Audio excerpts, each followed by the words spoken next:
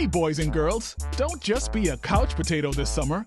Go on an adventure with Percy the Potcake and friends in his first book, Percy the Potcake and His Bahamian Adventure. Join Percy and his friends Mike and Mia as they talk about Bahamian history and visit Bahamian landscapes. Percy encourages boys and girls to pick up a book and read at least 20 minutes a day to develop young minds. So, mom and dads, visit percythepotcake.com or your local bookstore to get a copy of Percy the Potcake today. Also, check out Percy the Potcake coloring book, Percy the Potcake puzzle, and get ready for Percy the Potcake TV show starting this summer. See you soon.